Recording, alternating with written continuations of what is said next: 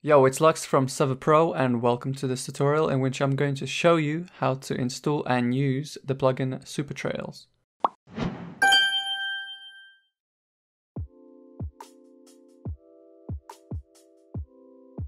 To install the plugin, head over to the Plugins tab in the control panel, change to the Spigot tab here and type in SuperTrails as one word. Make sure you get the right version and hit install.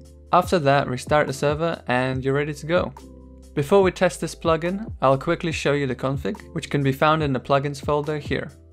In the config, you can change a lot of options, far too many to explain them all in this video, most of them are minor changes, but some of them are major ones. For example, you can have custom messages, you can change how the GUI looks, if a certain trail is enabled on login or not, and if you're allowed to have multiple trails. However, if you want to know more about each individual option, head over to the plugin page as there is an annotated version of the config.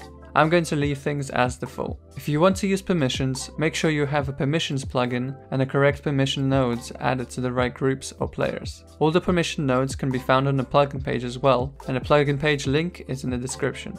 Now that we're done with that, let's check out these trails.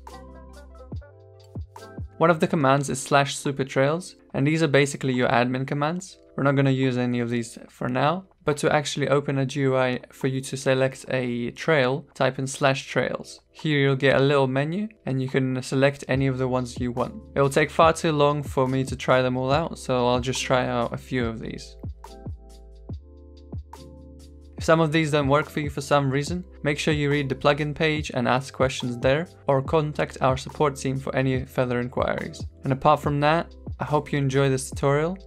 Thank you very much for watching, and I'll see you next time. Goodbye.